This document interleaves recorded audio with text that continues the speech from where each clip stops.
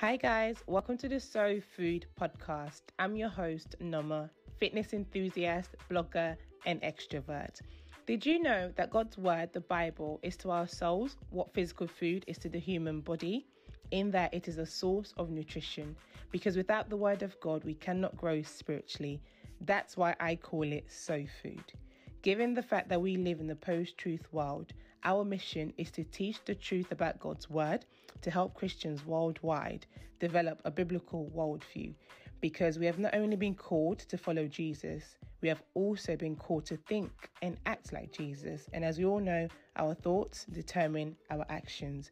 So join us weekly as we create a safe space where we will talk about the Bible, theology, and candidly discuss different challenges and struggles that we face daily in our Christian walk. Be prepared to be encouraged, empowered, and edified. Until next time, peace and blessings.